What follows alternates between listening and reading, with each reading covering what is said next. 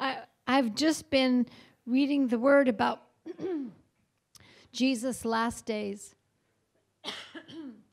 but I started running into, I, I want to read some um, encounters that Jesus had with his disciples that I think are really interesting. And I just, if I want would want to title this little encouraging word, uh, probably eternal thinking. I would call it eternal thinking. It's who we are, right? We're eternal beings. We're spirit, body, soul, and spirit. But I'm going to start reading in um, Matthew. Let's see. Matthew 16.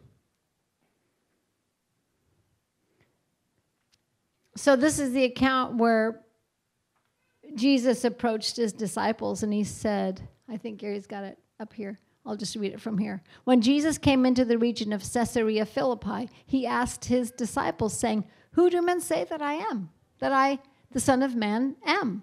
So they said, Some say John the Baptist, some Elijah, and others Jeremiah or one of the prophets. He said to them, But who do you say? Who do you say that I am? Simon Peter answered and said, You are the Christ, the Son of the living God. Jesus answered and said to him, Blessed are you, Simon Barjona, for flesh and blood has not revealed this to you, but my Father who is in heaven. That's revelation. We all can receive revelation, and we get to. And I hope we are all every day, because that's how we function in our spirit man. He gives us revelation. So Peter received that. So let's jump down to then verse 21. Then he starts to predict his death and resurrection. This is the first, this is the subtitle in my Bible.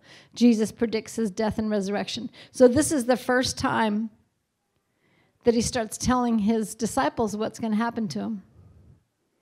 I'm going to pause here for a second and pray, okay? Father, we thank you so much for your presence here by your Holy Spirit.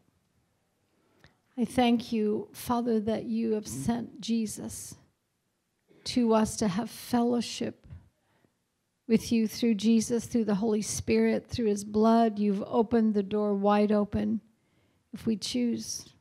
We thank you for your sacrifice. We thank you for the open door to commune with you, to walk with you, to talk with you, to know you. Just anoint the word this morning, what you have this morning, that our hearts would be touched, would receive the seed that you have for us this morning and grow and bear fruit. We thank you. Thank you, Father, in Jesus' name. So, verse 21, we're still in Matthew 16. From that time, Jesus began to show to his disciples that he must go to Jerusalem and suffer many things from the elders and the chief priests and scribes and be killed and be raised the third day. Then Peter took him aside and began to rebuke him. I don't know how much time went between Peter saying, You are Christ, the Son of God. And then in the next 10 minutes, maybe, I don't know, it doesn't reveal that to us. But Peter took him aside and rebuked him. Far be it from you, Lord. This shall not happen to you. But Jesus turned and said to Peter, Get behind me, Satan. You are an offense to me, for you are not mindful of the things of God, but the things of men. And that's really what began to stir in my heart. He was not mindful of things of God, but the things of men. Today, that's our struggle. This gets in the way. We, we're mindful of things of ourselves or self consciousness or what people think. And, and, uh, but Peter didn't understand. We'll give him grace here, okay? He didn't understand. They were looking for a king, the Messiah, who would save them from the Roman oppression that they were under. So, Matthew 16 he says that. But it's interesting. So, right after Jesus said, You're mindful of the things of man and not of God, then Jesus goes on to explain something that they still had to receive revelation on. Jesus began to say in verse 24, Then Jesus says, said to his disciples, If anyone desires to come after me, let him deny himself, take up his cross, and follow me. For whoever desires to save his life will lose it, but whoever loses his life for my sake will find it. For what profit is it to a man if he gains the whole world and loses his own soul? Or what will a man give in exchange for his soul? For the Son of Man will come in the glory of his Father and with his angels, and then he will reward each according to his works. So I think Jesus revealed what it takes to be mindful of the things of God and not the things of men. If we're so concerned about ourselves all the time, we're not losing our life. You see the correlation? It's like I'm just seeing the pattern that Jesus was getting them, and we'll read more, but that he was saying, Listen, this is, I want to bring you into this eternal thinking. I want to bring you into this, this spiritual arena that you know not of, but where you'll find the peace, the joy, the faith, the gentleness, the fruits of the Spirit, because in our own selves, we're not capable, right? John 15 says, without him, we can do nothing. So, right after Jesus told Paul, You are not mindful of the things of God, but the things of man, then he says, It takes a taking up your cross. It takes a losing your life for my sake and you will find it. And sometimes we still kind of, what? What? but I think what reveals so much of whether we're losing our life or not is when we get in a trial. And if we're fearful or we worry or we lash out whatever the situation is. And that's one thing that he said i'm going to jump over to i want to go back to luke 9 but i want to jump over to some of the things that he ministered to the disciples.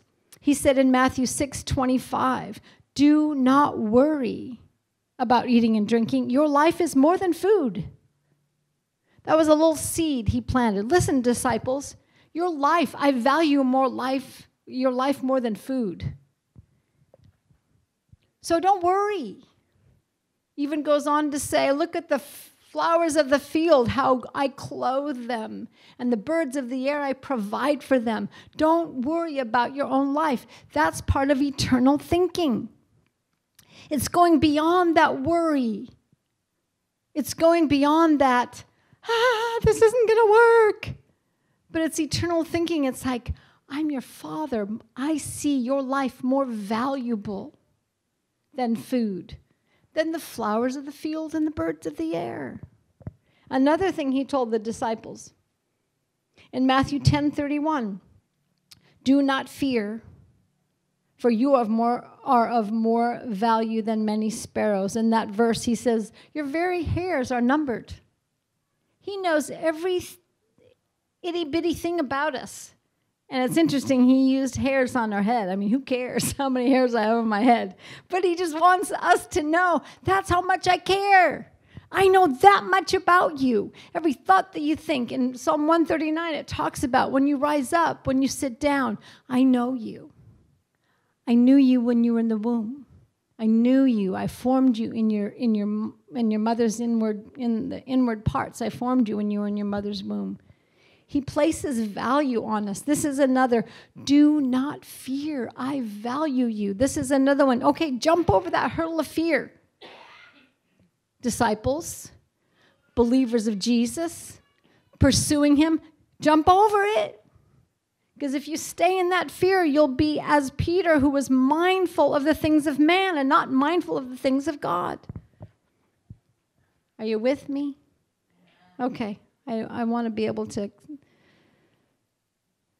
because sometimes when you feel like God's teaching you something and to express it to others because you just feel some of it so much of it here but you want to express it because it's it's being brewed in your heart. And i'm not saying I'm, I'm there by any means but god brews in our heart. In fact just a quick sideline.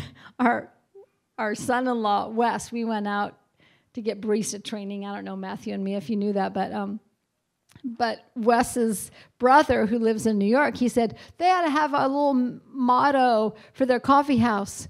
What does Jesus brew? Oh, what would Jesus brew instead of what would Jesus do? Get it? Huh? Anyway, but he brews in our heart. He'll put a little thought or a scripture and it goes, shoo, and then you just start. That's why it's so good to meditate on the word, think on it, pray over it, sing it.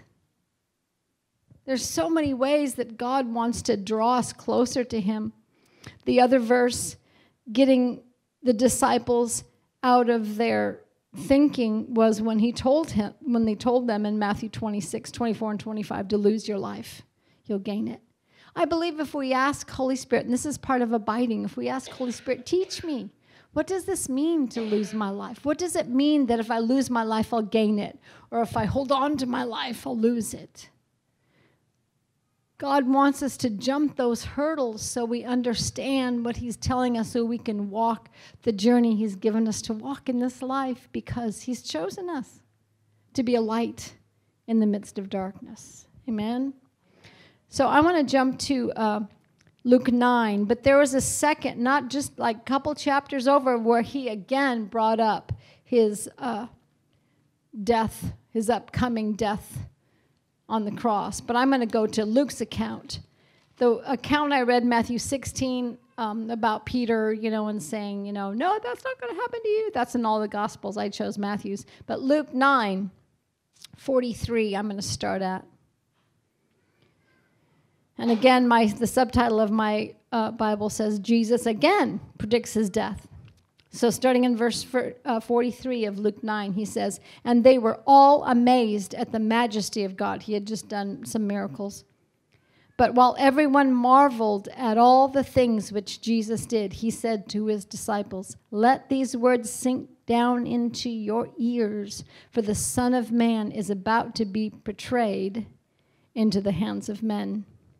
But they did not understand the saying, and it was hidden from them so that they did not perceive it, and they were afraid to ask him about this saying. So, Luke's account, as you read on, and I don't know how much you guys spend in the Gospels reading, but I would encourage you to. It's like just these little tidbits I've been reading in the Gospels is like, whoop, you know, it just, God begins to open our eyes if we're hungry. That's really what it takes is hunger for His Word. So it goes on to say, right after um, Luke talks about when Jesus said, you know, I'm going to be betrayed, then the next thing that happens, they start arguing about who's going to be the greatest, the disciples. I mean, Jesus said, What? You're going to be betrayed? What? And then they start arguing. I mean, they jump right over that hurdle of eternal thinking and go right into the things that were mindful of men, arguing who's going to be the greatest? Maybe a dispute. I don't know. I kind of see sibling rival, rivalry in my head, you know, when, when my girls would argue. But Jesus' response was, you know what it was, that whoever receives in verse 48, 48 of Luke 9 Whoever receives this little child in my name receives me, and he whoever receives me receives him who sent me, for he who is least among you will be great. Again, jump that hurdle of who's the greatest. Jump over it. That's being mindful of the things of men. I think there's even a danger today in, in, in Christianity of exalting these awesome teachers and speakers and even musicians and groups. And Gary and I glean from you know many teachers that we appreciate. But if we exalt them and idolize them, no, that's not good. And then you're down here going, I'm just a little peon. I don't know much. I wish I was like that person. That's being mindful of the things of men. And so in this, he's saying the greatest is the least. Look at those children in there. Jesus says they're greater. And so again, he's giving them this thought of let's, you know, he's just prodding their heart. Let's jump into eternal thinking. All right? So, right after that, verse 49 and 50 i don't think i told you these. I was i was just going to run through them 49 and 50 they saw someone casting out demons in jesus name and they didn't know who it was. And they said what are they doing? Who do they think they are? They're doing this they're doing that. And it's like they were complaining.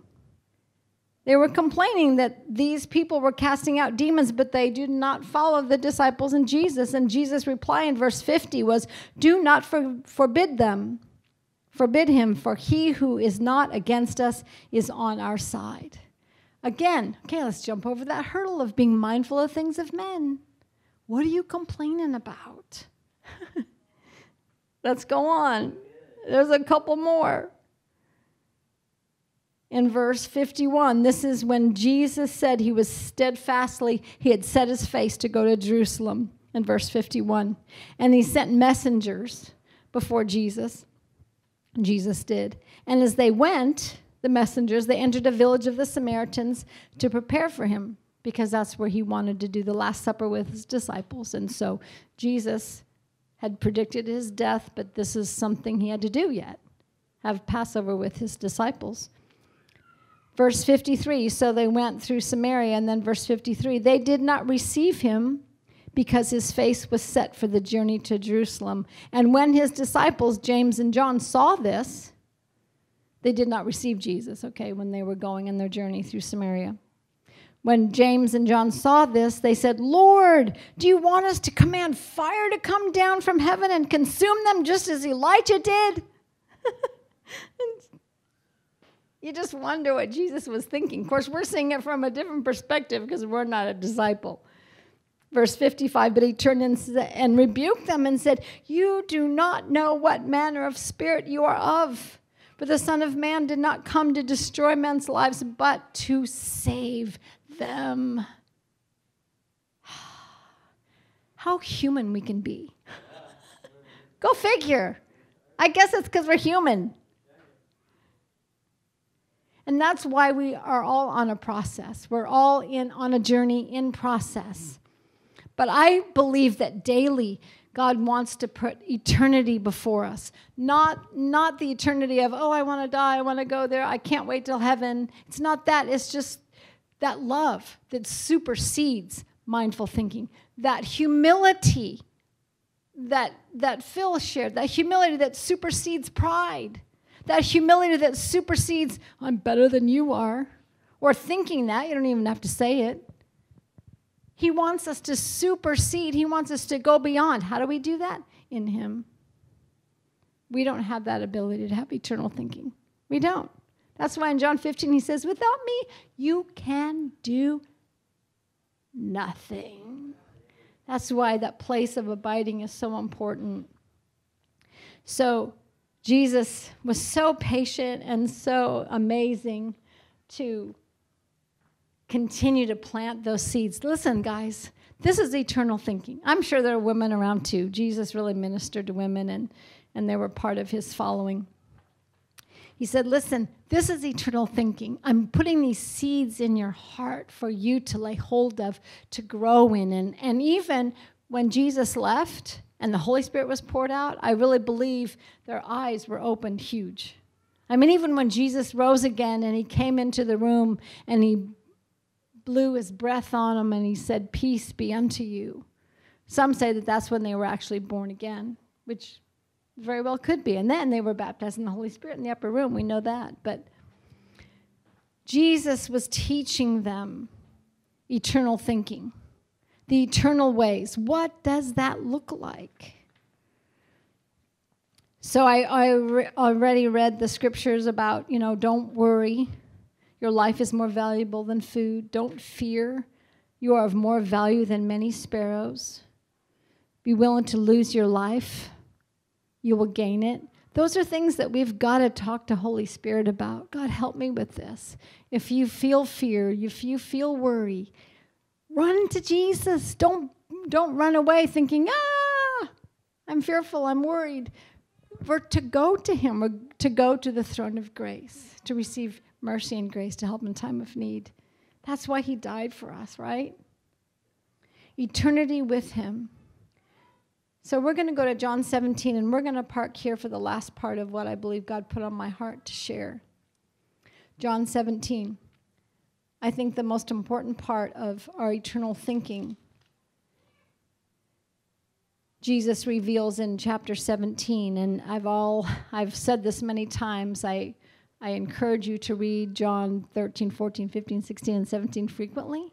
5 chapters. That was his last sermon before he went to the cross. He revealed so much. He revealed the coming of the Holy Spirit, how he would be your teacher, your comforter, your guide, that he would help you.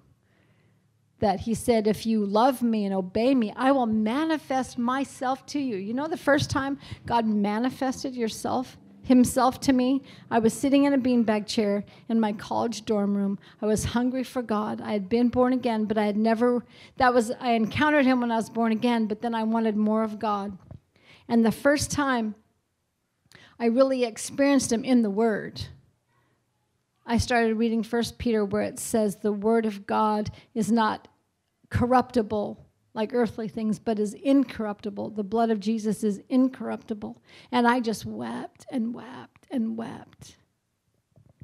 We all need to encounter him individually. In fact, I told my kids when they were young, I said, You're not going to make it in heaven by your mama's apron strings.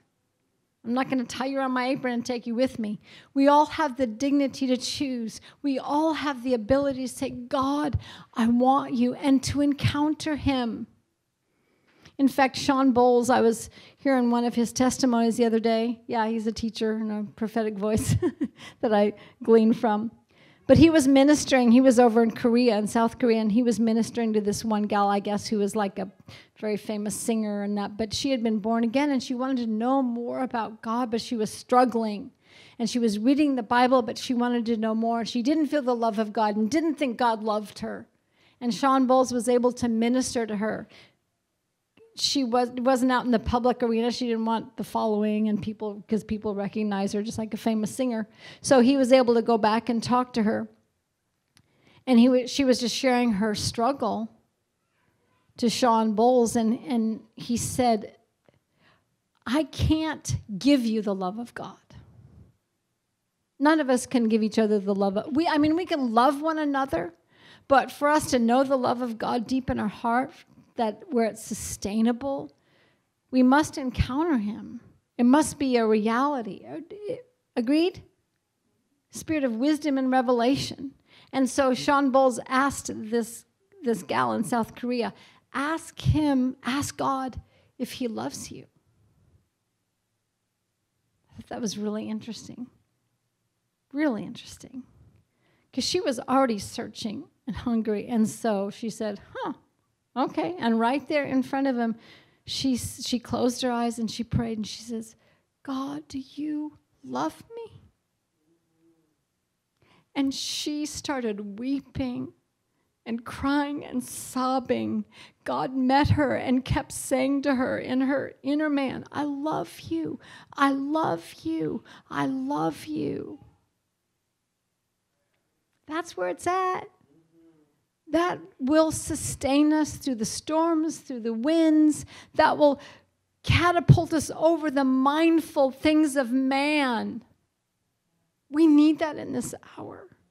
Our strength will not come from the horse, from the sword. You know, the Psalms talks about all that, the chariots. I mean, those aren't applicable today, but there's other things we can draw strength from or just comfort ourselves with this or that. He is our only comfort if we seek Him if we experience Him, God, do you love me? I want to know. And we will know every day. I believe He wants to give us that encounter every day. So, this is what John 17 says, and this is where we're going to dig deep. John 17, I'm going to start in verse 1. Jesus spoke these words, lifted up his eyes to heaven and said, Father, the hour has come. Glorify your Son, that your Son also may glorify you. As you have given him authority over all flesh, that he should give eternal life to as many as you have given him. Verse 3 And this is eternal life, that they may know you, the only true God, and Jesus Christ, whom you have sent. That's eternal life, is to know him. Does Jesus worry about us? No. He says, catapult yourself over that worry and know me. I'm eternal. I am your divine keeper. I'm the one that will keep you from confusion and misunderstanding and offense from other people or bitterness.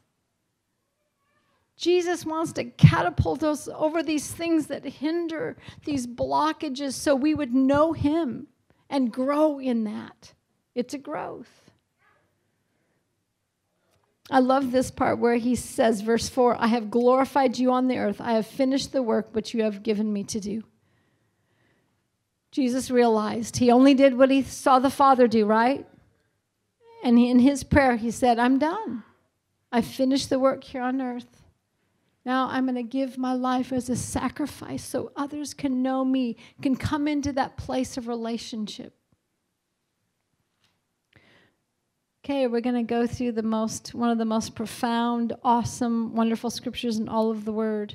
We're going to jump to verse 24, 25 and 26 of John. We're going to park here. Yeah, John 17, and this is where we're going to end. These are the three longings of Jesus we're going to read about. And I was I'm reading this, and I'm going to read a couple paragraphs out of this book. This is a textbook.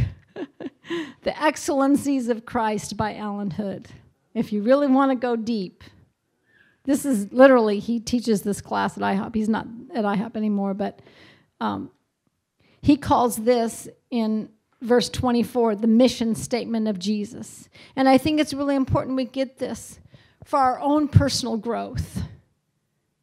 We need to know that Jesus desires. It's not, oh yeah, Jesus loves me. This I know, for the Bible tells me so. It goes way beyond. Because even growing up as a pastor's kid in Lutheran church, I was very mindful of man, like Peter. I mean, I didn't rebuke Jesus, but I mean, it was I, I was in the flesh. I had no desire to serve God, didn't want to serve God, rebelled, blah, blah, blah, blah, blah.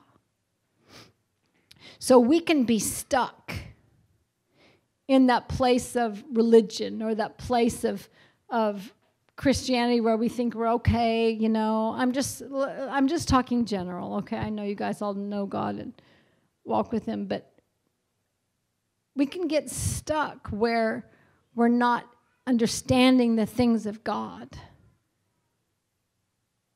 And it just again, it's just a simple being hungry and saying thank you because he wants to reveal himself. So let's just read that first verse, verse 24 in John 17. Father, I desire that they also, whom you gave me, may be with me where I am, that they may behold my glory which you have given me, for you have loved me before the foundation of the world. We'll just read it through once. O righteous Father, verse 25, the world has not known you, but I have known you, and these have known that you sent me. And I have declared to them your name and will declare it, that the love with which you loved me may be in them and I in them. So, that first desire or the longing of Jesus is revealed in verse 24. I desire that they, who's they? Yeah, we, that we, I desire that they, put your name in there. I desire that, that Willie also, whom you gave me, may be with me where I am. There's no exclusive exclusiveness to that scripture.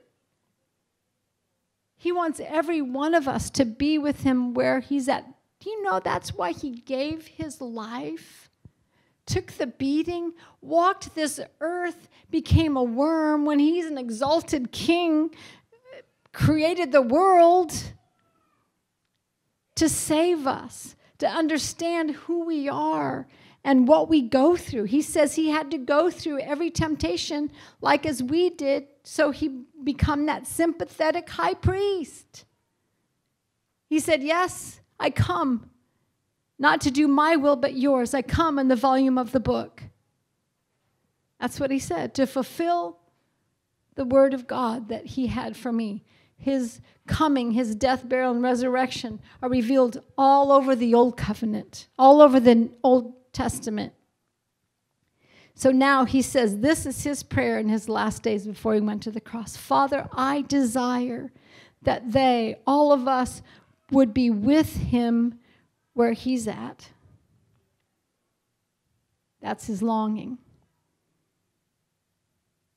The second is that we would behold his glory. What is his glory? I, am just, this was out of my uh, Greek lexicon. I'm just going to read you the meanings of glory to behold my glory, to behold my honor, my praise, my dignity, my splendor, my brightness, my magnificence, my excellence, my preeminence, my grace, my excellence of Christ, my kingly majesty, my, the glorious condi- condition of blessedness into which is appointed and promised that true Christians shall enter. The glory. He wants us to behold his glory. Are we jumping over being mindful of the things of this earth, the things of ourselves, and desiring, God, I want to see your glory? It goes way beyond gold dust or anything else, and I'm not dissing that. I'm just saying it goes way beyond that. Way beyond that. It's Him, it's His glory, it's His manifest presence that brings life eternal that brings the joy that we need, the, the deliverance, the peace, the safety. And it's not just for us either, it's just to behold His majesty that we're going to enjoy for eternity. To behold His glory. He wants us to behold his glory. He wants us to. He desires. We can put desire before every one of these three things. He desires that we would be with him where he's at, he desires that we would behold his glory, and that he desires that we would know the love of the Father in the bottom of verse 26 that we would know the same love that the Father loved Jesus with, that we would know that. The love of the Father, the same love. Look, the same love the Father had for Jesus, and Jesus said, I only do what I see the Father do. I want, I'm making that my pursuit to know the love of the Father and say, Father, and then maybe that'll, you know, God will put in my thoughts highlighting someone that maybe needs to be loved on. Yeah, they need loved on. And so when we're walking in the love of the Father, we're catapulting ourselves under the things that are only mindful of man, only mindful of Jane, only mindful of, oh, what do I look like? Or, oh, what will they think of me if I go up to them and tell them Jesus loves them? Or, you know, we jump over that. We jump over those worries and fears. And then if we're walking in the love of the Father because He wants to reveal Himself in the love of the Father, then we can be free to love others. Amen? We can be free to pursue unity with in broken relationships.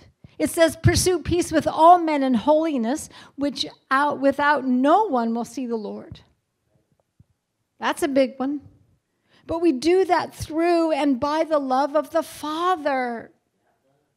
Yes.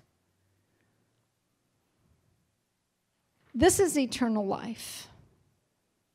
So I want to read a paragraph, a couple paragraphs that Allen Hood wrote. He says, verse 24 through 26 display three very clear heart longings of Jesus that the church must know and understand. He desires that we be with him where he is, to behold his glory and love him like the Father loves him.